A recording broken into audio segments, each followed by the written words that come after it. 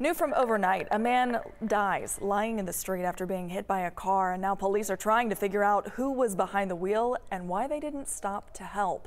This happened along Piedmont Road right near Lindbergh Drive around 3 o'clock this morning.